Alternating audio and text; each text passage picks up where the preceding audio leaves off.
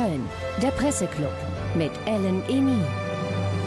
Hallo herzlich willkommen. Was war das für ein Auszählungskrimi bei der US-Wahl in den vergangenen Tagen? Überall wurde extrem gewissenhaft und sorgfältig gearbeitet, um ja keine voreiligen Entscheidungen zu treffen. Stück für Stück hat sich Joe Biden in den entscheidenden Staaten nach vorne gearbeitet. Und dann kam gestern kurz nach 17.30 Uhr die Eilnachricht, Pennsylvania geht an die Demokraten. Und so verschafft der Staat, in dem Joe Biden geboren wurde, ihm die nötigen Wahlleute, um über 270 zu kommen. Er ist der designierte 46. Präsident der Geschichte. Was jetzt auf Joe Biden zukommt, welche Herausforderungen er in seinem Land bewältigen muss, aber was das auch für Deutschland und Europa bedeutet, das möchte ich jetzt mit meiner Runde hier diskutieren. Im Presseclub mit dem Titel Zittersieg für Biden. Was kommt nach der US-Wahl? Und ich begrüße ganz herzlich meine Gäste. Frederik Pleitgen, er ist internationaler Korrespondent für den amerikanischen Sender CNN mit Sitz in Moskau. Aus dem ARD-Studio in New York ist meine Kollegin Christiane Meyer zugeschaltet. Sie war bis vor wenigen Stunden selbst noch in Pennsylvania und dort ist es 6 Uhr morgens Ortszeit. Danke, dass Sie dabei sind. Im Studio hier begrüße ich Stefan Götz-Richter. Er ist Herausgeber des täglichen Online-Magazins The Globalist und aus dem ZDF-Studio in Berlin ist Katrin Benhold zugeschaltet. Sie ist die Berliner Bürochefin der New York Times. Ihnen allen herzlichen Dank, dass Sie dabei sind. Und für unsere Zuschauer und Nutzer da draußen in den sozialen Medien können Sie auch mitdiskutieren, Fragen, Meinungen loswerden, überall dort, wo Sie den Presseclub in den sozialen Medien finden. Jetzt blicken wir aber erstmal auf die ganz frischen Bilder der vergangenen Nacht, als äh, Joe Biden mit seiner Kamala Harris, seinem Running Mate vor seine Fans getreten ist in Wilmington, seinem Heimatort. Joe Biden, der designierte Präsident der Vereinigten Staaten. Unter Jubel tritt er vor seine Anhänger und wendet sich mit versöhnenden Worten an sein Land. Ich gelobe, ein Präsident zu sein, der nicht spalten will, sondern vereinen, der nicht rote oder blaue Staaten sieht, der nur die Vereinigten Staaten sieht. Donald Trump will die Niederlage nicht wahrhaben. Er verabschiedet sich zum Golfspielen und lässt seine Anwälte sprechen. Sie zweifeln die Wahl an. Am Montag werden wir Klagen einreichen. Trump klammert sich mit letzter Kraft an seine Präsidentschaft, die ein gespaltenes Land hinterlässt. Die internationale Politik sieht neue Chancen für die Beziehungen zu den USA. Außenminister Heiko Maas ist vor allem erleichtert darüber, dass da jemand zum Präsidenten gewählt wurde, der auch in den letzten 48 Stunden schon dadurch aufgefallen ist, dass er sehr, sehr verantwortlich ist, dass er ein Land wieder zusammenführen will, dass er einen Blick hat auf die großen Probleme dieser Welt. Gratulationen aus dem Ausland, Freudenfeiern in vielen US-Städten. Für viele Amerikaner überwiegt die Erleichterung und die Hoffnung auf einen Neuanfang. Ja, für viele Amerikaner überwiegt die Erleichterung. Deshalb möchte ich auch erst mal etwas emotional in diese Runde hier einsteigen. Frau Benhold, vielleicht die erste Frage an Sie. Wie ist denn Ihre Gefühlslage seit gestern Abend? Also ich muss sagen, als der Call kam, aus, aus, aus New York kam und auf unserer Webseite zum ersten Mal wirklich äh, nach diesen Zitterstunden bekannt gegeben wurde, dass äh, Präsident Biden jetzt gewonnen hat, da sind wir tatsächlich zu den Kindern gerannt. Ich habe drei zu Hause sitzen, die sind im Alter von vier, elf äh, und neun und haben ihnen gesagt, dass damit wirklich ähm, ihnen was geschenkt wurde. Zunächst wurde uns äh, als die Elterngeneration, als der Elterngeneration Zeit geschenkt, der liberalen Demokratie generell in der Welt Zeit geschenkt. Aber das Zweite, was man vielleicht noch sagen muss, ich habe zwei Töchter in diesen drei Kindern. Ähm, Kamala Harris ist wirklich ein historisches Ereignis, äh, was nicht untergehen darf äh, in erstmal den großen News, dass jetzt Joe Biden äh, Präsident Trump äh, besiegt hat. Kamala Harris ist eine Frau, sie ist äh, halb Inderin, halb äh, Schwarze, ihr Vater kommt aus Jamaika und es ist wirklich äh, das Beste Amerikas, was in dieser Frau vereint ist und eine Geschichte, die äh, inspiriert auch über Amerika hinaus. Das habe ich meinen Töchtern, also die Rede von Kamala mhm. Harris habe ich meinen Töchtern heute am Frühstück, Frühstückstisch nochmal äh, nacherzählt und dieser Satz, ich bin die erste Frau in diesem Amt, aber ich werde mhm. sicher nicht die letzte sein, ähm, hat einem dann doch so ein bisschen Gänsehaut gegeben. Ja, danke, Frau Bennold. Man merkt die äh, Gefühle Ihnen an. Äh, meine Kinder haben heute Morgen auch genau das geguckt. Ich denke, es ist tatsächlich auch ein wichtiger Moment. Aber äh, Herr Richter, Sie haben ja jahrzehntelang in Amerika gelebt. Wie empfinden Sie jetzt die Gefühlslage und was kommt da jetzt auch noch in den nächsten Wochen? Wunderbar und zwiegespalten. Ich glaube, es hat nie so viele Sekt- oder Champagnerfotos in unseren sozialen Netzwerken gegeben wie letzte Nacht. Ich glaube, die französische Champagner und die deutsche Sektindustrie müssen sich sehr freuen an dem, was da passiert ist. Ich glaube auch, dass es eine große Chance ist, weil Joe Biden eigentlich der richtige Mensch ist, um diese Nation zu heilen. Das ist in seinem Fall kein Spruch. Aber ich erinnere mich eben auch, wie schon Bush Junior äh, im Jahre 2000 genau dieselben Sprüche abgelassen hat und er das dann gar nicht gemeint hat.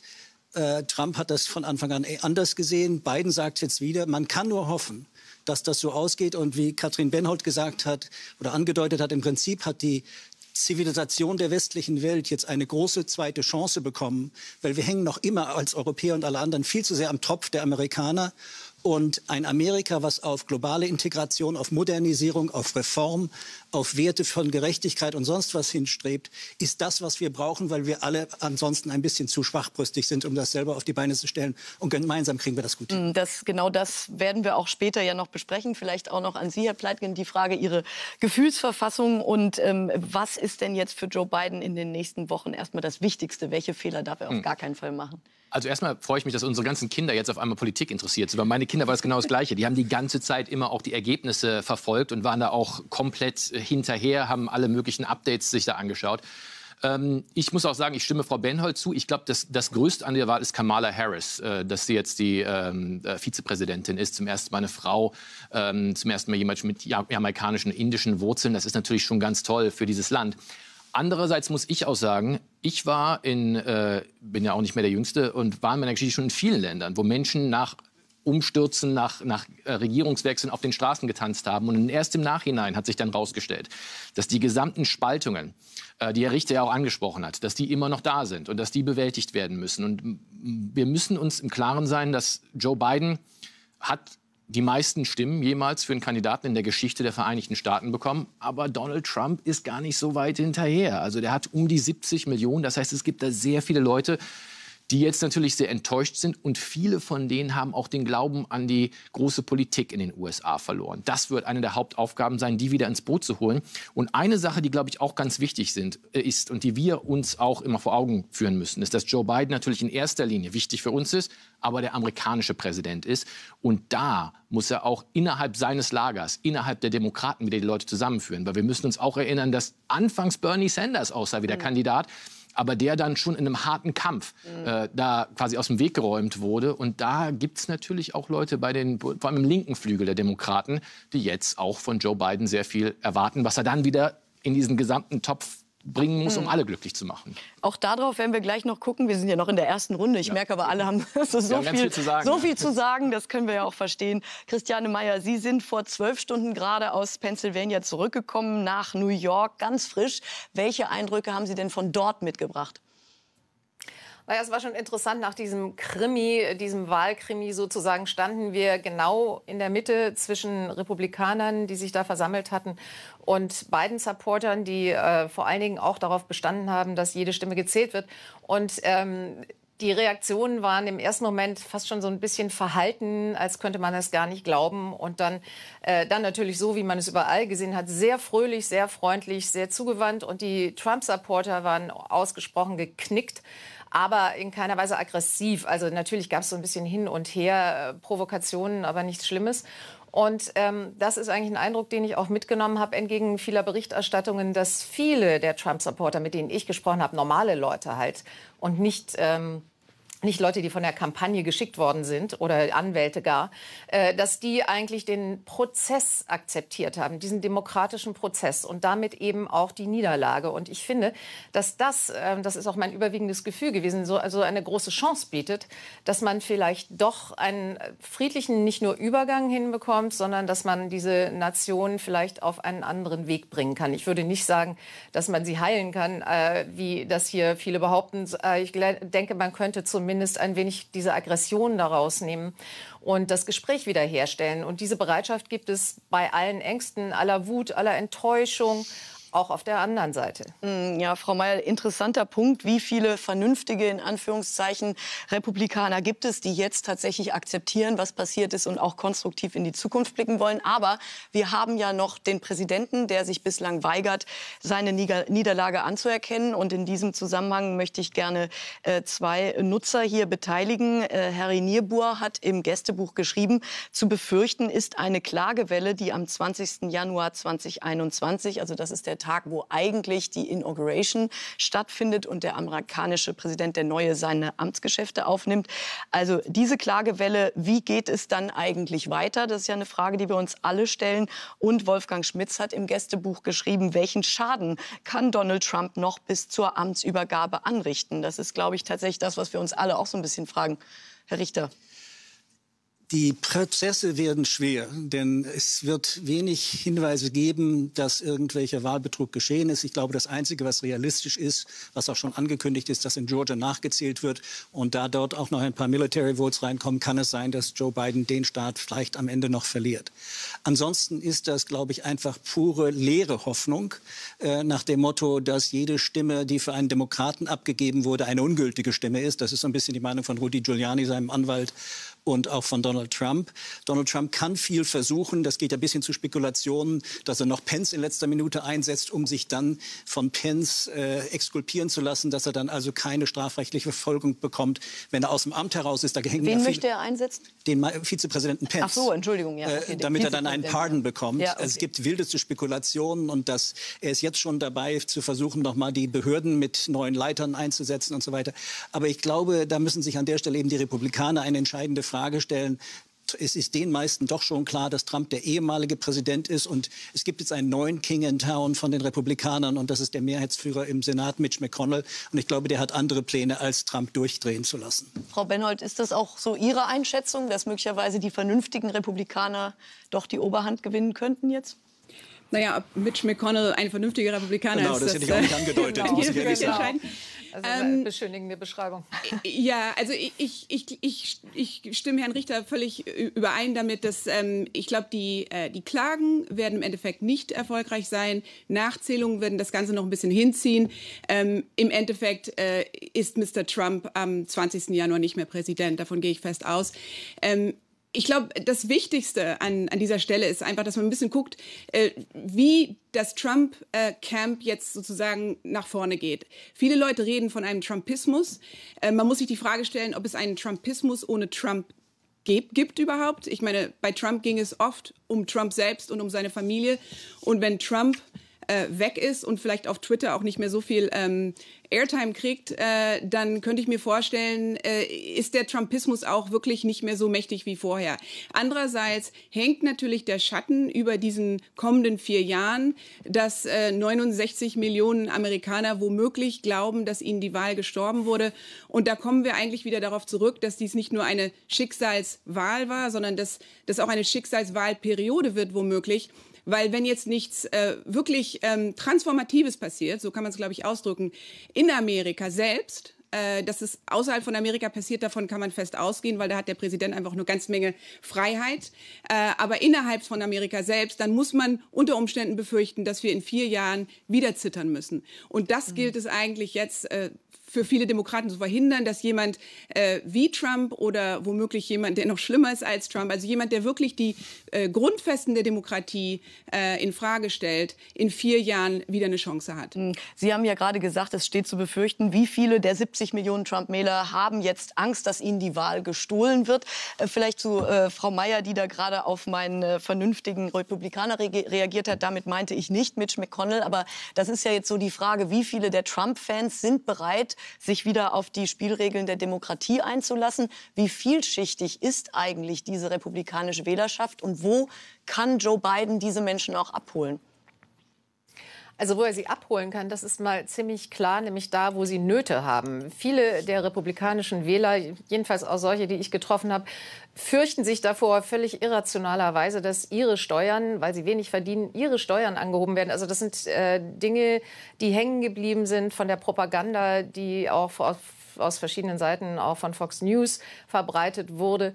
Und ähm, wo man sie abholen muss, ist, dass man ihnen die Angst nimmt. Ich habe immer das Gefühl, dass ganz viele dieser Reaktionen aus Angst geschehen. Angst vor dem Verlust äh, der eigenen Existenz, Angst vor dem Verlust von äh, Geld. Und man, man kann, sollte und muss sie da abholen. Die zweite Sache ist natürlich, was vorweggeht, ist die Legitimierung der Wahl. Das heißt, man muss tatsächlich wirklich diese Stimmen zählen, muss äh, diese ganzen Klagen ernst nehmen, so absurd sie auch sein mögen, muss das zu Ende durchziehen, muss das in Ruhe und Gelassenheit tun, so wie es in Pennsylvania auch die ganze Zeit geschehen ist. Und dann hat man sicherlich auch eine andere Akzeptanz und kann sich dann dem politischen Geschehen wieder zuwenden und mal seine Hausaufgaben machen. Das haben die Demokraten nämlich auch nicht immer gemacht und sich den Leuten zuwenden, an die sie eigentlich immer gedacht haben, angeblich die Arbeiter und die Leute, die ähm, irgendwo an dem Ende der Gesellschaft sind, wo es nicht so leicht ist, ähm, zu überleben. Mhm. Vielen Dank. Äh, vielleicht, Herr Pleitgen, noch mal die Frage. Joe Biden hat sich ja immer darauf berufen, er will die Wunden heilen. Wir sind nicht so richtig sicher, ob das der richtige Ausdruck ist. Aber welche Trümpfe hat denn Joe Biden auch aufgrund seiner persönlichen Geschichte? Ja. Und wie kann er es irgendwie schaffen, von Donald Trump die Amtsgeschäfte übergeben zu bekommen? Also auch das, das ist, ist ja, auch das ist ja eigentlich üblich, glaub, aber das sieht ja. Ja, da bin ich aus. ganz mit Frau, Frau Benhold. Ich glaube, das wird irgendwann passieren. Das, das ist, ob, ob der jetzt äh, einen netten Brief schreibt und sich da so einfach verabschiedet oder nicht. Ich glaube, bin auch fest davon überzeugt, dass am 21. Januar äh, Joe Biden der nächste Präsident sein wird und dann erstmal wahrscheinlich mit einem weißen Haus, einer Administration klarkommen muss, wo nicht besonders viel für ihn hinterlassen wurde. Das hat, glaube ich, die Obama-Administration damals auch schon gesagt, dass da schon viel noch im Argen lag, als sie das Weiße Haus übernommen wurden. Das ist einfach auch Arbeit, mit der Joe Biden ja auch jetzt schon anfängt. Er hat ja, glaube ich, gestern Abend oder heute Morgen schon sein Coronavirus Task Force ähm, einberufen, die dann versuchen wollen, diese riesige Krise in Amerika auch schon ähm, irgendwie äh, zu bewältigen ich glaube, dass Joe Biden es möglicherweise schwer haben wird. Also ich bin nicht der Meinung, dass Donald Trump einfach so in der Versenkung verschwinden wird und weniger auf Twitter sein wird. Weil wenn, wenn, man, wenn ich jetzt die Republikaner wäre oder wenn man die Republikaner ist und man, man fragt sich, gut, bin ich jetzt hier mit dem Trump untergegangen oder war das eigentlich richtig, was wir gemacht haben, uns an Trump zu heften? Die haben ja bei der Wahl die Partei gar nicht so schlecht abgeschnitten. Die haben im Repräsentantenhaus mehr Repräsentanten als vorher. Die werden höchstwahrscheinlich, ich weiß nicht, wie jetzt im Moment die Auszählung ist, den Senat auch behalten. Und das zeigt, dass das Ganze ja schon gewisse Resonanzen hat. Also es, es, scheint mir fast so, dass Donald Trump persönlich abgestraft wurde, wahrscheinlich größtenteils auch wegen seiner Coronavirus-Politik, weil ich meine, wenn da 230.000 Leute sterben, das ist ja nicht von der Hand zu weisen. Aber dass die Partei eigentlich nach dieser Wahl besser dasteht, als viele gedacht hätten. Es ja. hatten mir viele Leute gedacht, es würde einen Erdrutschsieg für die Demokraten geben. Und ob das jetzt als Signal verstanden wird, wir müssen jetzt mit den beiden irgendwie zusammenarbeiten, mhm. da bin ich mir gar nicht so sicher. Also es könnte für Joe Biden sehr schwierig werden, aber gleichzeitig bin ich schon der Meinung, wenn es jemand gibt zurzeit, der das irgendwie hinkriegen kann, dann ist es wahrscheinlich Joe Biden, weil er so lange schon in Washington ist, weil er so viele Kompromisse auch schon geschmiedet hat in seiner langen Zeit äh, als Senator in Washington, dass dadurch und weil er ja auch einen gewissen auch bei, bei vielen von diesen Stereotypen Trump-Wählern Männer mhm. mittleren Alters, äh, da auch einigermaßen ankommt. Also mhm. wenn es jemand gibt, dann Joe Biden, aber es wird, glaube ich, sehr schwierig. Und also von Donald Trump kann ich eins mit fast hundertprozentiger Sicherheit sagen, der wird nicht leise werden. Das ist sicherlich richtig. Sie haben gerade den Senat angesprochen.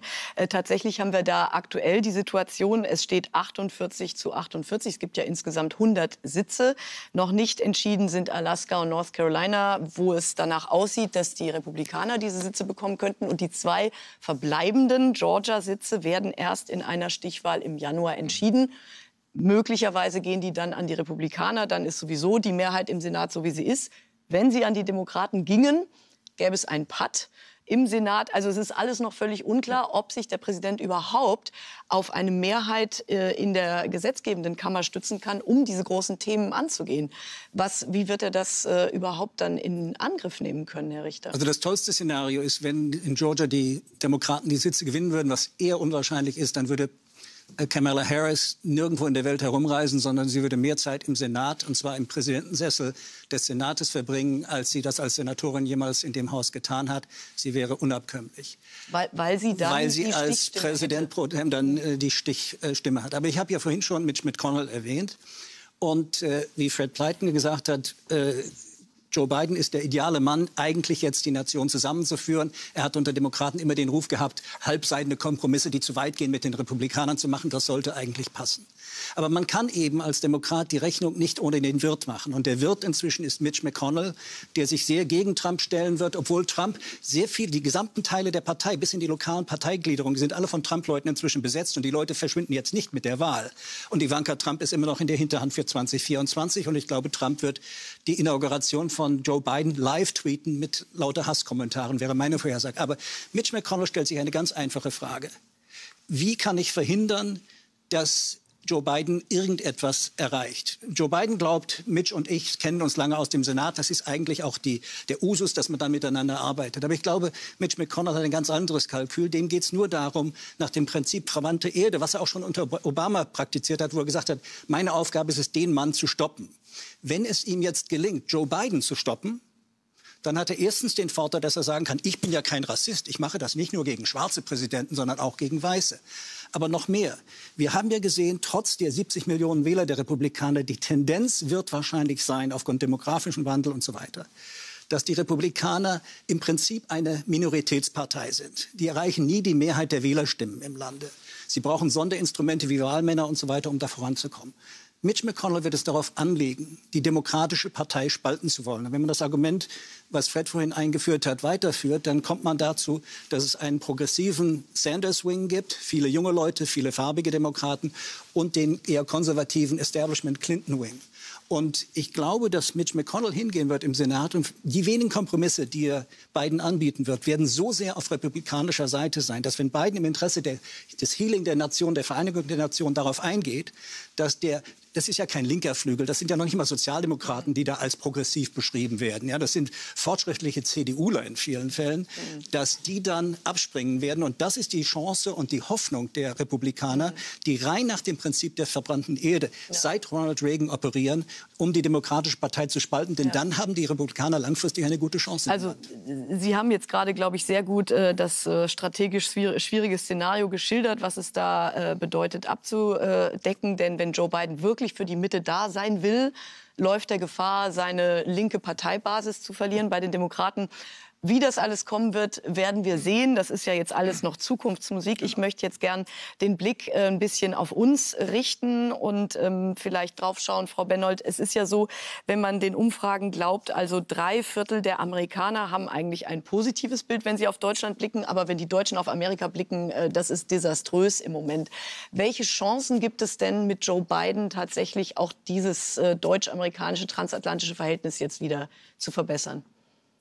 Ich glaube, diese Transformation ist sozusagen äh, bereits vollzogen. Also es ist, es ist unglaublich, was man sozusagen an Zelebrationen aus allen möglichen Hauptstädten in Europa hört. Es gibt natürlich die, die sich wahrscheinlich insgeheim ein bisschen die Wunden lecken, ein Boris Johnson, ein Viktor Orban äh, von Putin und Bolsonaro etc. gar nicht zu sprechen. Aber ähm, dass sozusagen die westlich-liberalen Demokratien äh, jetzt wieder und auch die Leute, sozusagen die Wähler in diesen, in diesen Demokratien Amerika jetzt wieder lieben können.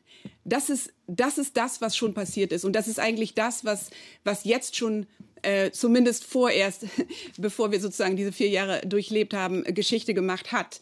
Also ich meine, wir waren ja wirklich an einem Punkt angekommen, wo die Mutter der Demokratien, die wichtigste ähm, der liberalen Demokratien in dieser Gemeinschaft von Demokratien auf der Welt, äh, auf einen Abweg geraten war. Und äh, das hat sich mit Joe Biden eigentlich äh, äh, sofort geändert. Ich meine, ich bin, gehe fest davon aus, dass er sich mit den Europäern versöhnen wird. Ich gehe fest davon aus, dass sozusagen äh, gewisse Policy Pivots bestehen bleiben, was aber auch nicht weiter schlimm ist. Ich meine, dass China nach wie vor äh, der strategische Rivale ist und dass man damit den Blick weiter nach Asien mehr vielleicht lenkt als nach Europa. Davon gehe ich auch aus. Das, das ist auch etwas, was nicht von Trump kommt, sondern schon unter Obama passiert ist. Aber so gewisse existenzielle Geschichten, dass man zum Beispiel sich Sorgen machen müsste über, um das Überleben der NATO unter Trump, das ist jetzt erstmal weg. Mhm. Und damit ähm, kann man jetzt sozusagen konstruktiv an den Problemen arbeiten, die uns alle als, als westliche Demokratien beschäftigen. Mhm. mhm. Gerade Klimawandel, das ist mhm. ein ganz wichtiger Punkt. Ich glaube, das ist sozusagen jetzt fünf vor Mitternacht. Ne? Genau, wir kommen noch auf die einzelnen konkreten politischen Punkte. Jetzt erstmal für die emotionale Grundstimmung, äh, Frau Mayer. Sie, wir haben es ja gerade gehört, es gibt jetzt wieder eine Basis, auf der man sich annähern kann.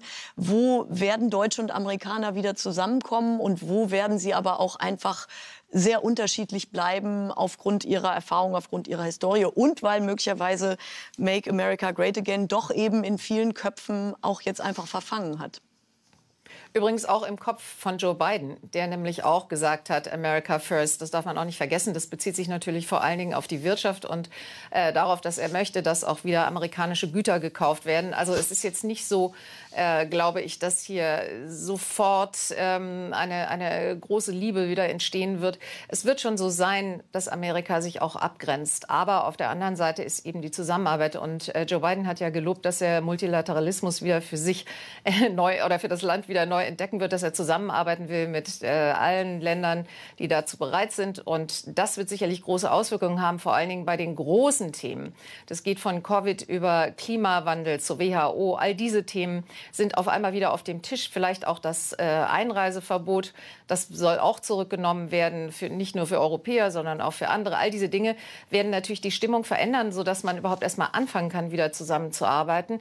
Aber natürlich, Joe Biden ist der amerikanische Präsident, wurde ja auch schon gesagt. Der kümmert sich um sein eigenes Land.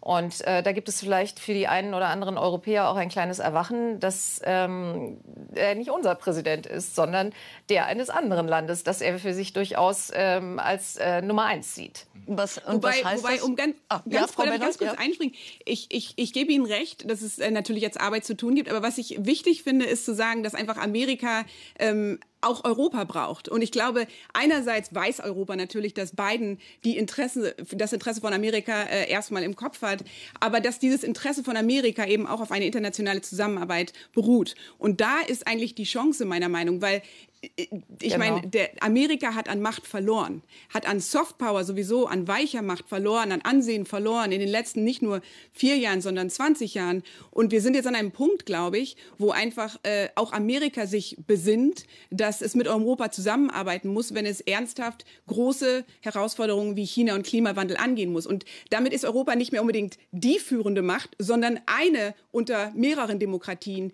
die jetzt eine führende Stellung äh, in dieser Gemeinschaft von Demokratien einnehmen muss. Mhm. Sie haben es gerade gesagt. Also genau, Amerika braucht auch wieder Europa. Ja, Wird sich ich das? Bin auch der ja. Meinung, also ähm, das stimmt alles. Ich glaube, bin fest davon überzeugt, dass wahrscheinlich kein Land auf der Erde mehr von dem Präsidenten Biden profitieren wird als Deutschland. Weil alles, wofür Donald Trump steht, war gegen eigentlich alles das, was Deutschland, für das Deutschland steht und vor allem, was die Bundeskanzlerin steht. Weil das war ja so die Antifigur zu Donald Trump. Das ist jemand, der an Kompromisse, also Frau Merkel, der an Kompromisse glaubt, an Multilateralismus baut, an, an, glaubt an Zusammenarbeit, glaubt, also alles, alles das, an was äh, Donald Trump nicht glaubt. Äh, und man muss dann einfach mal durchgehen, welche Probleme wir, also Deutschland, mit der Trump-Administration hatte und was damit jetzt passieren wird. Mhm. Da gab es ja die Drohung von Strafzöllen gegen die deutsche Autoindustrie. Kann ich mir nicht vorstellen, dass das bestehen bleibt, weil ich meine, die deutsche Autoindustrie hat ja einfach mal eben die Autoindustrie in den USA gerettet, eine ganze Zeit lang, einen neuen Autocenter da aufgebaut. Die deutschen Autounternehmen sind ja quasi deutsch-amerikanische Unternehmen äh, Sie produzieren mittlerweile. Da, Sie, Sie produzieren da, die haben große Teile ihrer Produktionskette dahin verlagert.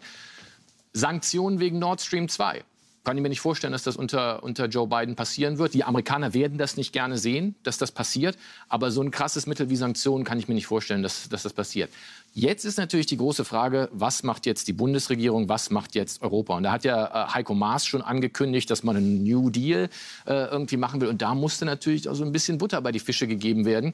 Ähm, und die Amerikaner gucken natürlich vor allem, wie geriert sich Deutschland in der NATO? Mhm. Wie sieht es mit Deutschlands Rüstungsausgaben aus? Wie sieht es mit Verantwortung übernehmen aus? Weil es gibt viele Sachen, auch wenn man sich umhört. Ähm, ich bin relativ viel mit dem amerikanischen Militär unterwegs, auch äh, in Europa und, und anderswo. Die fragen sich schon, warum sind wir eigentlich immer in vorderster Front und im Nachhinein machen die Deutschen die mhm. Geschäfte, obwohl sie sich nicht beteiligen. Das ist schon eine Frage, die viele Amerikaner auch, äh, auch sehr betrifft. Und dann ist natürlich die große Frage Zusammenarbeit in Sachen China auch. Mhm. Jetzt haben wir alle drei große viele, Themen viele, angerissen. Viele genau, ich gehe noch mal auf das erste Thema Wirtschaft, Handelsbeziehungen, mhm. weil das ja einfach auch ein sehr wichtiges ist, wo wir jetzt alle abwarten, äh, wie sich das entwickeln könnte mit Joe Biden als Präsident. Roger Schmidt auf YouTube hat äh, zum Beispiel die Frage gestellt, glauben Sie, dass der Demokratensieg eine globale signifikante Schwungwelle aus der Rezession heraus bewirken kann? Sie haben gerade angedeutet, was möglicherweise mit äh, den Autostrafzöllen passieren könnte. Wie sehen Sie die Situation, Herr Richter? Das wäre wunderbar, wenn, äh, aber selbst wenn Joe Biden einen triumphalen Wahlsieg errungen hätte, wäre das unwahrscheinlich aus den Gründen, die, glaube ich, auch Christiane Mayer gerade genannt hat äh, und auch was Fred gesagt hat. Der entscheidende Punkt hier, und ich würde gerne auf diese wichtige Frage eingehen, die, was deutsche Amerikaner, was haben wir voneinander? Und mich hat, seitdem ich dort als junger Mann hingegangen bin, immer fasziniert, dass das, wo die Amerikaner drin gut sind, wir eigentlich schlecht sind in Deutschland, um es mal ganz deutlich zu sagen. Und wo wir in Deutschland gut sind, sind die Amerikaner schlecht. Nehmen wir mal die ganze Frage, die Christiane vorhin aufgeworfen hat, dass sich viele Trump-Wähler abgehängt fühlen. Das sind meistens Männer, weiße, schwarze, Latinos, die nicht mal einen Highschool-Abschluss oder vielleicht gerade das haben. Damit verdient man in Amerika vielleicht 35.000 Dollar brutto. Äh, davon kann man nicht leben bei den Mieten, die inzwischen die Telekommunikationskosten, alles ist dreimal so teuer wie bei uns, Krankenversicherung ganz zu schweigen. Mhm. Die Amerikaner haben umgekehrt uns viel zu beizubringen, weil die deutsche Bundesregierung unter Merkel, Altmaier und Maas hat niemals eine so bequeme Zeit international gehabt wie unter Donald Trump weil ihnen automatisch zugesichert worden ist, ihr seid faktisch die Heiligen, die einzigen Vernünftigen, ohne dass Deutschland bei den strategischen Fragen, die Fred zum Beispiel eben rezitiert hat, irgendetwas getan hat. Mhm. Der Tanz ist jetzt vorbei. Deutschland muss jetzt liefern. Joe Biden kennt Deutschland. Seitdem er ein junger Senator war, ist er auf Parlamentarier austauschen gewesen. Seine Leute, eine frühere Praktikantin von mir war seine außenpolitische Beraterin, wird dann eine große Position äh, in den USA haben. Die kennen Deutschland aus der Westentasche. Die wissen, welche Knöpfe sie auch bei Heiko Maas und erst recht bei Angela Merkel zu drücken haben, damit Deutschland endlich mal Farbe bekennt. Denn Amerika wird sich sehr um sich selbst kümmern müssen und kann eben nicht wieder das wie Herkules das hm. Gewicht der Welt auf seinen Schultern schleppen. Da muss Deutschland auch ran. Herr Richter, ich bleibe mal bei dem äh, schönen Bild, was Sie eben äh, gemalt haben, wie sich Deutschland so ausgeruht hat. Ähm, äh, wir sind also jetzt bei den militärischen Fragen. Frau Mayer, was glauben Sie denn, was wird da in Sachen Verteidigungsforderungen möglicherweise auch auf uns zukommen, auf Deutschland? Das wird ganz schlicht bei diesen zwei Prozent bleiben. Genau das, was eigentlich Donald Trump gefordert hat, wird wahrscheinlich auch Biden fordern. Sie werden fordern, dass Deutschland sich einbringt, und zwar finanziell und auch sonst tun wir ja auch gewisserweise. Aber ähm, natürlich soll diese, sollen diese zwei Prozent für die NATO bezahlt werden. Ich glaube nicht, dass man sich da rauswinden kann, mit welchen Argumenten auch immer. Und äh, das muss einem schon klar sein dass ähm, Joe Biden jetzt nicht äh, ein deutscher Bundeskanzler ist, sondern der kümmert sich darum, dass er das Geld reinholt, dass er ähm, die Leute einbindet und dass Deutschland dann seine Rolle übernimmt und nicht nur die ökonomische, sondern auch die militärische, wie immer das aussehen mag. Und welche weiteren Knackpunkte sehen Sie für die zukünftigen politischen Felder, Frau Mayer? Also zunächst mal ähm, fällt es mir leichter, positiv zu denken, als Knackpunkte zu sehen. Das ist ähm, richtig, an diesem Tag auf jeden Fall. genau, aber dazu wollte ich, ich wollte nur eins sagen zu, diesen, ähm, zu der Hoffnung, dass die Wirtschaft sich wieder erholt. Was wir hier sehen in Amerika ist ja, dass die Wirtschaft durch Covid auch extrem deprimiert ist. Das heißt, solange man dieses Problem nicht löst, und zwar nicht nur hier, sondern eben auch in Europa, wird es sowieso nichts werden mit der großen Erholung der Wirtschaft. Und da sehe ich zum Beispiel eine Chance, dass man wirklich endlich mal wieder zu dem zurückkommt, was man früher mal Wahrheit genannt hat. Und das war auch ein Teil der Rede ähm, von Kamala Harris, dass wirklich endlich mal wieder Wissenschaft und äh, Vernunft und Rationalität einziehen. Und praktisch jedes Thema, über das wir reden werden, wenn es auf dieser Basis dann geführt wird, wird auf jeden Fall einen großen Fortschritt bringen. Mhm, danke. Ich bringe noch mal unsere Nutzer, die uns äh, zuhören und uns in den sozialen Medien sehen, äh, ins Spiel. Augusta Septembemborova, ich weiß nicht, ob das der echte Name ist, hat auf YouTube gefragt, können die USA unter Biden ohne weiteres zurück in WHO und Pariser Abkommen. Geht das einfach so, wie es jetzt Joe Biden ja schon angekündigt hat, oder ist das eher eine komplizierte Aufgabe, Frau Bennold vielleicht? Das kann er kann er kann das kann er machen durchaus. Ich meine, die Frage ist, wenn er dann äh, wieder Mitglied, wenn Amerika wieder Mitglied im Pariser Abkommen ist, wie viel ähm, äh, Hebel hat er sozusagen im Senat dann äh, Gesetze zu verabschieden, die diese äh, sozusagen Gesetze, die den Klimawandel bekämpfen, konkret und unter Umständen auch ähm, die eigene Ölindustrie oder das Fracking und so weiter mit Arbeitsplätzen, die daran hängen in Amerika selbst, äh, wie viel wie viel sozusagen äh, äh, Hebel hat er, das dann umzusetzen? Das ist die zweite Frage. Aber dass er erstmal international sich wieder einbinden kann in diese äh, multilateralen Organisationen, das ist, das ist eindeutig.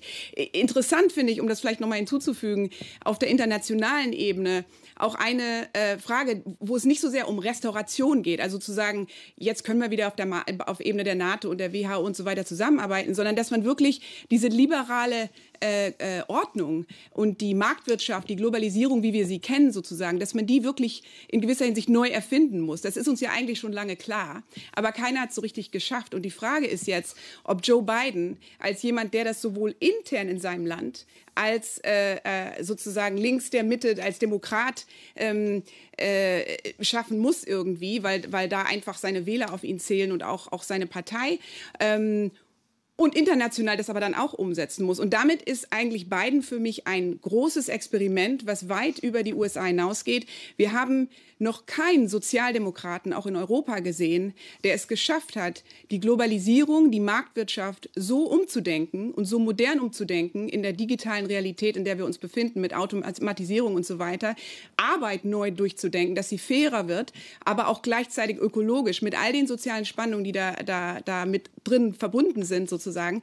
Das haben wir noch nicht gesehen. Macron war jemand, der diese Hoffnung irgendwann mal aufgerufen hat und viel an Veränderungen äh, versprochen versprochen hat. Aber im Endeffekt war er nicht der transformative Präsident in Frankreich, den sich Sozialdemokraten erwartet haben. Die SPD in Deutschland hat da auf der Ebene auch bisher noch nicht geliefert mit Ideen. Joe Biden ist da jemand, der sicherlich äh, in der Hinsicht äh, auch äh, beobachtet wird mm, oder ja, beobachtet werden sollte. Ja, sehr interessante Analyse des Biden-Experiments. Äh, danke. Ich werfe noch mal eine Frage äh, auf, die jetzt vielleicht nicht als erstes uns gekommen ist, aber Carsten Gierke auf Facebook hat gefragt, inwieweit kann die Wahl Bidens, Bidens den Ausgang des Brexit beeinflussen?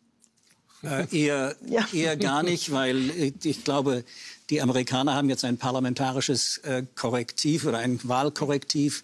Die Briten haben sich da anders entschieden. Die Borniertheit von Boris Johnson geht weiter. Äh, Donald Trump wird wahrscheinlich viel Golf in Schottland und sonst wo spielen, um einen Seelenfreund zu haben. Äh, aber die Briten hängen durch. Die letzte Chance, dass ihm da ein besonderer Deal angeboten würde, ist jetzt endgültig vorbei. Und die Briten sollten fundamental umdenken. Das ist, glaube ich, ganz klar. Mhm. Ich glaube, wir haben jetzt ganz viele äh, Themen angetitscht. Äh, auch danke für die, die verschiedenen Blickwinkel auf das Thema. Vielleicht gehen wir in die Schlussrunde, damit wir auf jeden Fall alle noch mal Zeit haben, äh, was äh, zu sagen.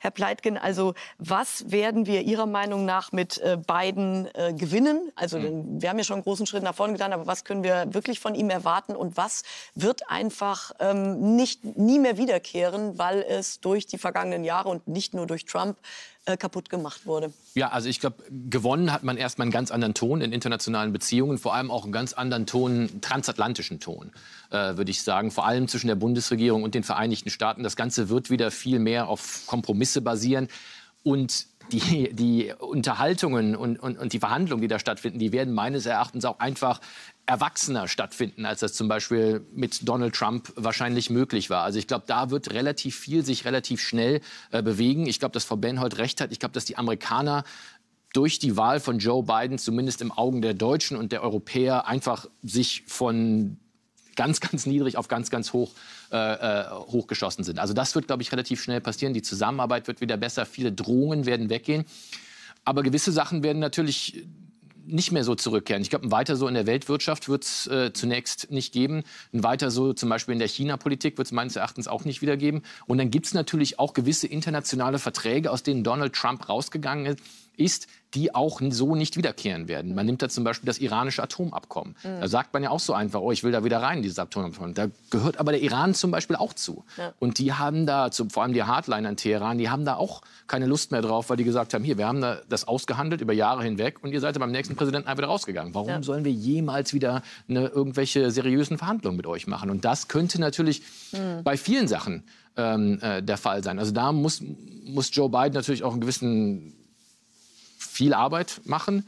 Ähm, aber ich glaube, gewisse Sachen werden sich einfach im internationalen Ton ändern. Aber nichtsdestotrotz, ich glaube, auf globaler Ebene ähm, wird es erstmal äh, eine Aufbruchstimmung geben.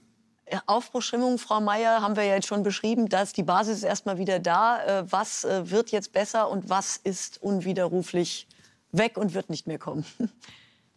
Also Amerika hat sich in gewisser Weise rehabilitiert, das stimmt. Aber ähm, was nicht mehr wiederkommen wird, ist, glaube ich, die unbefangene Naivität, mit der man das Land gesehen hat. Es gibt, und das muss man immer wieder sagen, 70 Millionen Trump-Wähler. Die sind nicht weg, die sind da, die prägen das Land. Ähm, die werden das auch in den nächsten vier Jahren, werden die sich zu Wort melden, laut. Und ähm, das wird auch Resonanz finden in Europa, das wissen wir auch bei allen möglichen äh, autokratisch orientierten ähm, Regierungschefs und auch bei Menschen. Und äh, deshalb wird es genau so sehe ich das auch, nicht wieder sein wie vorher. Aber es gibt ja halt große Chancen dadurch, äh, dass man eine Gesprächsebene wieder hat und dass man wieder freundlich miteinander umgeht und äh, alliiert wieder Alliierte sind und Diktatoren nicht umschmeichelt und gehegt und gepflegt werden.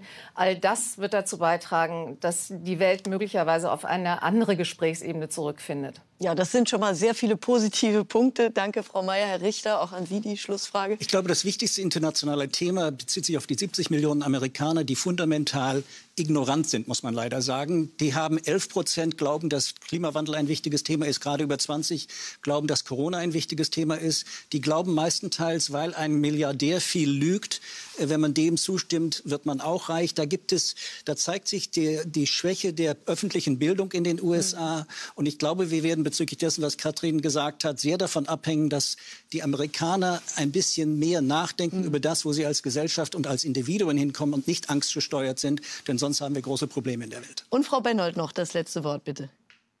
Also eine Sache, die wir noch gar nicht angesprochen haben, was sofort passiert kurz, und bitte. passieren wird, ist, dass Rechtspopulisten auf der ganzen Welt jetzt nicht mehr ihre Legitimation aus dem Weißen Haus beziehen. Und das ist ein ganz wichtiger Punkt. Man hat hier Trump-Bilder bei den äh, Reichsbürgern auf der Straße Deutschlands gesehen. Äh, ich glaube, das darf man nicht unterschätzen. Danke. Mal ganz abgesehen von den Regierungen, den rechtspopulistischen Regierungen, die natürlich auch sich mit ihm verbündet hatten. Danke, ähm, danke Frau Bennold. Sorry, wir sind leider am Ende dieser Sendung okay. angekommen. Ich muss Sie leider an der Stelle äh, äh kurz abwürgen, aber wir haben, glaube ich, die ganzen Facetten dieses Themas ab abgedeckt mit meinen äh, vier engagierten Diskussionspartnern hier. Vielen Dank dafür. Im ersten geht es weiter mit dem Europamagazin und auf Phoenix und WDR 5, wenn Sie möchten, mit Presseclub nachgefragt. Dann können Sie sich auch selbst persönlich zu Wort melden. Vielen Dank. Schönen Sonntag noch und tschüss.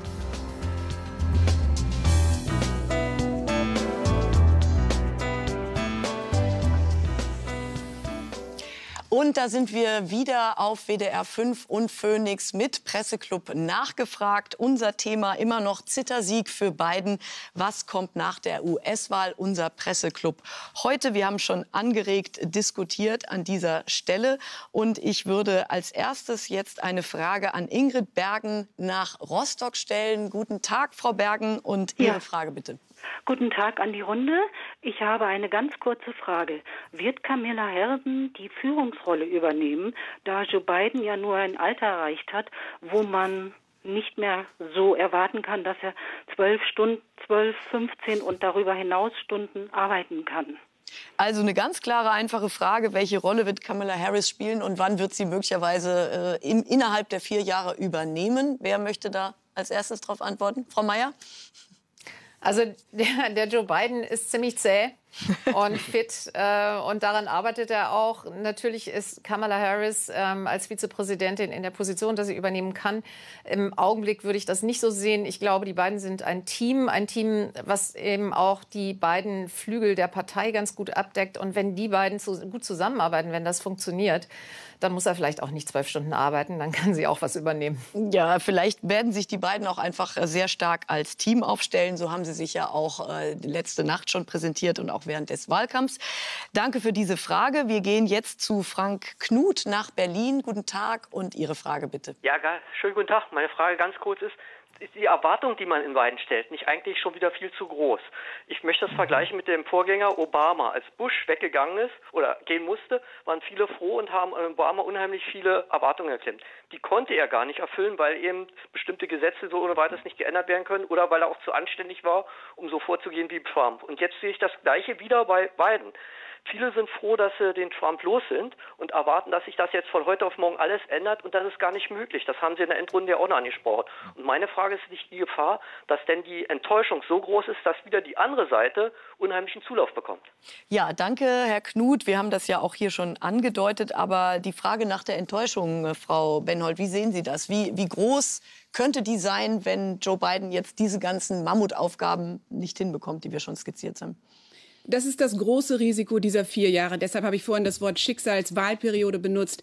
Ähm, wenn nichts Transformatives und wirklich äh, Grundlegendes sich verändert, dann fürcht, kann man befürchten, dass in vier Jahren äh, das Ganze wieder, das Klima wieder umschlägt. Insofern haben Sie recht, es, es liegt ein riesiges Gewicht auf Joe Bidens äh, Schultern und er muss und er kann auch um den Kongress herum einiges schaffen. Also man muss den, man braucht den Kongress, das hat Obama ja auch gezeigt, äh, auch ähm, sozusagen, man, man kann sich, man kann Ideen finden und Wege finden, darum herum zu regieren. Es gibt Wege, aber es wird sehr, sehr schwierig. Aber wenn nichts wirklich äh, Wichtiges und, und grundlegend sich verändert, ich glaube, äh, dann muss man, man muss einfach sich daran erinnern, dass Trump auf einer Ebene auch Obamas Erbe ist weil einfach Obama als Demokrat vielen Wählern, äh, gerade denen in den unteren Einkommensklassen, nicht das äh, geliefert hat, was sie von einem demokratischen Präsident erwartet haben. Sie haben sich äh, betrogen gefühlt. Mhm. Und das Gefühl darf nicht wieder aufkommen. Mhm. Herr Richter, dazu noch? Da noch eins hinzufügen darf.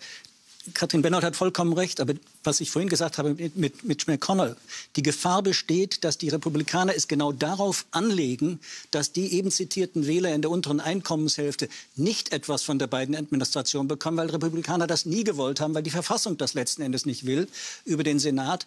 Und das wird die große Tragik möglicherweise sein. International, glaube ich, hat der Anrufer sehr recht, sind wir eigentlich doch wegen der Erfahrung mit Obama sehr dafür gewappnet. Ich glaube, keiner von uns war überschwänglich. Ich glaube auch international sind die Hoffnungen nicht zu groß. Sie sind sehr realistisch und man weiß, dass man sehr genau daran arbeiten muss, aber dass es schwierig wird. Mhm, aber es gibt, glaube ich, auch, auch, Themen, wo es einfach fast unmöglich ist, auch einen Kompromiss zu erreichen. Also wenn man jetzt zum Beispiel die Themen, die ja eigentlich Donald Trump im Grunde genommen vor, vor äh, vier Jahren an die Macht gebracht haben, vor allem die Einwanderung. Mhm. Das ist ja, das ist ja so, so, ein Thema, wo es fast unmöglich ist, diese Lager zusammenzuführen, wo es ja auch innerhalb der Demokraten unterschiedliche mhm. Lager gibt. Und dann das große Thema, was bei uns ja keins ist. Und das, wir, wir, wollen noch einen Zuschauer rankommen lassen. Ja, Entschuldigung, ja, ja. Wir, wir sind das Waffenrecht. Das, das, Waffenrecht. Ist, das ist auch eine ganz entscheidende Sache. Über, über das Waffenrecht spielt auch eine wichtige mhm. Rolle. Wir sind jetzt aber in dem Teil, sorry, äh, wo wir auch äh, vor allem viele Zuhörer und Zuschauer äh, zu Wort kommen lassen wollen. Ja, die Euphorie von Obama, die war sicherlich größer. Von daher vielleicht eine verhaltene Euphorie jetzt ähm, äh, sorgt dafür, dass wir nicht so enttäuscht sein werden. Wir werden es sehen. Äh, die nächste Frage geht an Andreas Steinmann aus Berlin. Guten Tag und Ihre Frage bitte. Ja, guten Tag, Herr aus Berlin nach Köln. Herzlich. Ähm, und zwar meine Frage ist nach Trump, der fast wirkte wie jemand, der vom Mars plötzlich runtergefallen wäre. Sind der Harris und Biden praktisch richtige Profipolitiker? Wird damit auch die Berechenbarkeit der amerikanischen Politik insgesamt gestärkt werden und wird eine Kanzlerin Merkel und die Nachfolger oder Nachfolgerin auch dann mit einer besseren Politik in den USA fertig werden müssen. Dankeschön. Wird äh, diese Vernunft und die Profipolitik gestärkt? Ich glaube, das haben wir hier ja jetzt schon äh, so ein bisschen ventiliert. Will noch mal jemand darauf reagieren? Ja, also ich würde sagen, ich glaube, die Berechenbarkeit wird auf jeden Fall, äh, wird auf jeden Fall äh, gestärkt werden. Ich glaube auch einfach der internationale Ton, äh, die internationale Zusammenarbeit, die internationalen Gespräche werden einfach, äh, werden einfach ähm, durchdachter werden und werden öfter stattfinden. Ich meine, man muss sich ja mal zurück äh, überlegen in die letzten vier Jahre, wo dann einfach mal morgens auf einmal ein Tweet von Donald Trump gesehen wurde, äh, wo der eine komplette Änderung der amerikanischen Außenpolitik angekündigt hat, so aus dem Nichts und wo es auch nicht klar war, ob es da irgendwelche Beratungen gab. Das wird es, glaube ich, in der Form nicht mehr geben. Also die Berechenbarkeit international, die wird, glaube ich, meilenweit sich verbessern. Danke. Dann gehen wir jetzt mal zu Anke Krause nach Pirna. Guten Tag und Ihre Frage bitte. Meine Frage ist, hier wird schon Biden hier das Atomabkommen mit Russland wieder aufnehmen wird das Atomabkommen. Das Atomabkommen, Entschuldigung, ja, genau das Atomabkommen. Ähm, wie sieht es aus? INF-Abkommen, das wird, glaube ich, relativ schwierig werden. Es gibt ja mehrere Abkommen zur Abrüstung. Dieses New Start-Abkommen, was erstmal verlängert werden könnte. Das wollten die Russen sowieso. Äh, da geht es um, um, um, generell äh, Atomwaffen. Und dann gibt es dieses INF-Abkommen, Intermediate Range Nuclear Forces, also Mittelstrecken-Atomwaffen. Äh, ich glaube, das wird schwieriger werden, weil da gibt es eigentlich einen Konsens, glaube ich, in der amerikanischen Außenpolitik, dass wenn es Neuauflage dieses Abkommens geben soll, dann wollen die Amerikaner, dass die Chinesen da auch ein Teil von sind. Äh, und das wollen die Chinesen aber nicht, weil die Amerikaner halt sagen, warum sollen wir unsere Mittelstreckenarsenale begrenzen, wenn die Chinesen das nicht tun, die auch als Atommacht immer stärker werden und hätten da gerne was allumfassenderes. Also ob das wird, glaube ich, schwieriger werden, aber generell das äh, New Start-Abkommen, das wird, glaube ich, verlängert werden. Und das hat, das hat sogar Putin ja schon gesagt, dass er glaubt, dass man da mit der beiden Administration äh, drüber reden kann. Hm. Danke, das, äh, da spricht der Militärexperte hier an dieser Stelle. Wir gehen weiter zu Jan Willem Roberts aus Bensberg. Guten Tag und Ihre Frage bitte. Ja, guten Tag an die, an die Runde meine Frage. Wie viel Schaden kann der Donald Trump noch anrichten, bevor er das Weiße Haus verlassen muss? Wie viel Schaden kann er noch anrichten? Auch das hatten wir hier kurz äh, schon äh, skizziert. Aber ähm, Herr Richter, wollen Sie? Er kann noch einiges an Schaden anrichten, aber die Repub neuen republikanischen starken Männer werden das versuchen zu limitieren, weil sie wissen, dass sie Zweidrittelmehrheit im Supreme Court haben äh, und dass sie ein langfristiges Spiel spielen, um die Republikanische Partei in der Mehrheit zu haben. Ihre Loyalität zu Donald Trump ist jetzt praktisch weg. Die Loyalität zum Machterhalt wird ewig bestehen bleiben und die Demokraten zu bekämpfen ist die Hauptmaßgabe. Wir gehen zu Kurt Bongatz aus Perleberg. Äh, Herr Bongatz, guten Tag und Ihre Frage bitte. Ja, schönen guten Tag nach äh, Köln hin. Ähm, ich habe dort eine Frage und zwar geht es darum, wie sieht Joe Biden das in der Zukunft mit der Souveränität äh, hier in Deutschland aus, vor allem in der Sache mit der Nord Stream 2 Pipeline. Ihre Frage bezieht sich auf Nord Stream 2. Das ist ja ein Projekt, was von äh, den USA sehr stark kritisiert wurde. Das ist die Erdgaspipeline aus äh, Russland, die bei uns in Mecklenburg-Vorpommern anlandet. Wie wird sich Biden zu Nord Stream 2 stellen? Vielleicht Frau Benhold? Also ich glaube, der Tenor ist da relativ bipartisan. Also beide Parteien in Amerika sind, waren schon immer eigentlich äh, gegen Nord Stream 2. Ich denke mal, die Kritik wird äh, den Deutschen erhalten bleiben. Aber ich glaube, diese ähm, äh, die Diplomatie des starken Manns, die wir bei, bei, bei, also die Drohungen und zum Teil Erpressungen mit zum Beispiel dem Hinweis, wenn ihr das macht, dann geben wir euch keine nachrichtendienstlichen Informationen mehr oder so, äh, was unter Trump kam, das wird anders geregelt werden. Da wird man sich sicher auf diplomatischer Ebene drüber unterhalten. Nord Stream 2 ist nicht populär in Amerika, auch nicht im Biden-Camp. Hm. Ein Halbsatz dazu noch. Wir müssen in Deutschland uns auch klar sein, dass das nicht die Trump-Administration war, die dagegen war. Es ist im Prinzip jede europäische Regierung dagegen. Die Holländer, die, die Dänen, die Polen, die ganzen Balten und so weiter. Es widerspricht der europäischen Energiepolitik. Wir machen uns da einen vor, wenn wir glauben, das war Trumps Schuld. Es ist eine antideutsche, europäisch amerikanische Front. Und ich glaube, das werden die Demokraten unter beiden sehr viel geschickter spielen, sodass es für uns faktisch schwerer wird. Hm, das heißt, wird sich, die Situation wird sich sogar eher verkomplizieren als äh, yes. vorher. Ähm, danke. Ja, dann gehen wir zu Alois Kräuter aus Rüsselsheim. Herr Kräuter, guten Tag und Ihre Frage bitte. Äh, ja, guten Tag. Äh, ich wollte wissen, wie wird sich denn das auf den Ton in, der, in den Medien in den USA auswirken? Also weniger jetzt Fox News, sondern zum Beispiel bei CNN wird dann ein Anderson Cooper immer noch eine halbe Stunde lang empört sein und äh, ein Stephen Colbert ständig über Politik reden oder wird es dann auch wieder entspannter? Dankeschön. Sie, Sie sprechen ja ein Phänomen an, dass die, dass die Medien in äh, den USA sehr stark polarisiert sind, dass Fox News eher zum äh, Trump-Fanlager gehört und CNN sich auch äh, stark in die demokratische Richtung entwickelt hat. Das ist eine ähm, Entwicklung, die man durchaus mit Sorge sehen darf. Was ist Ihre Einschätzung vielleicht? also ich glaube, ich bin ja direkt angesprochen. Ne? Als, Herr, Herr Bleitgen, direkt, ja, da haben Sie recht. Also ich, also erstmal lehne ich natürlich das ab, dass äh, CNN im Lager der Demokraten ist, sondern wir sind natürlich äh, direkt in der Mitte. So, so. Ähm, und äh, ich glaube aber, dass, dass, äh, dass da schon eine gewisse Entschärfung stattfinden wird. Man muss natürlich äh, sich erinnern, dass Donald Trump in einer der ersten Pressekonferenzen schon einen Reporter von uns abgewürgt hat, uns als Fake News bezeichnet hat, die gesamten etablierten Medien als Fake News bezeichnet hat.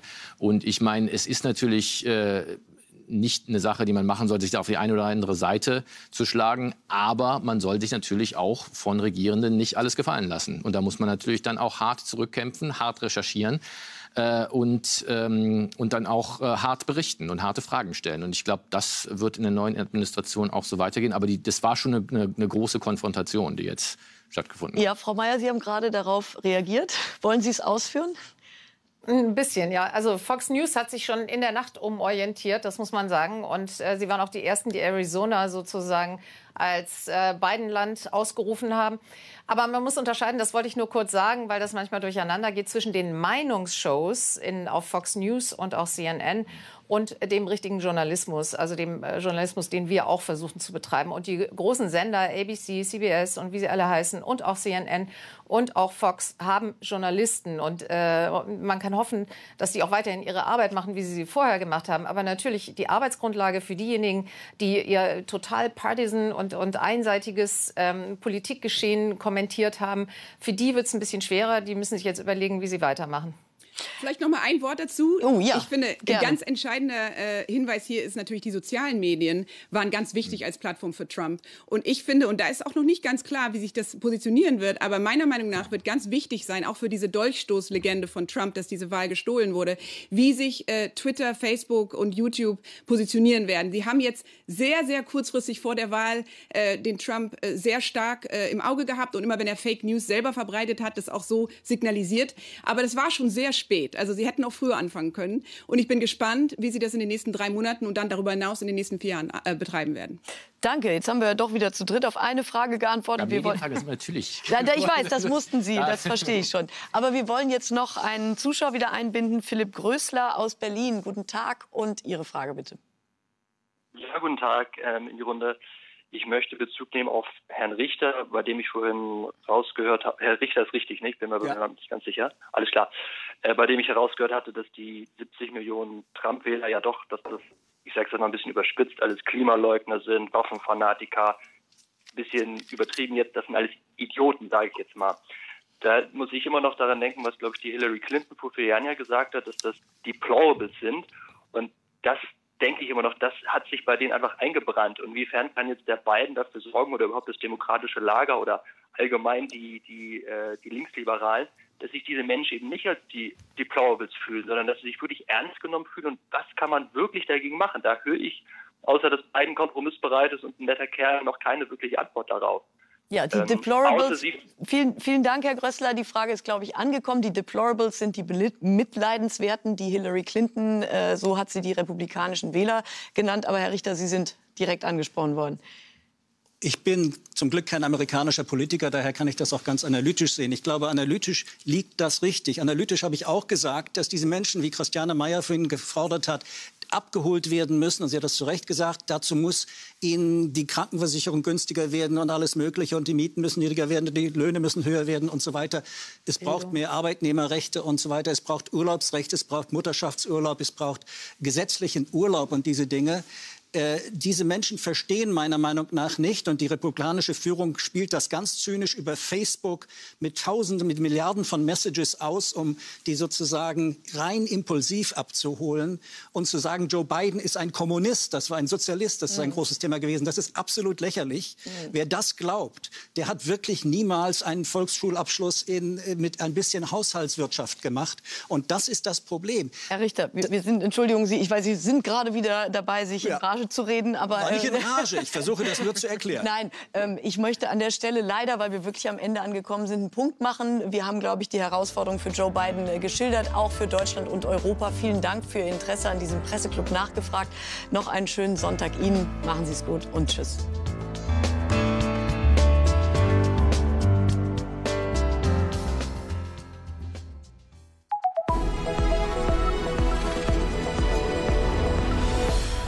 Phoenix vor Ort.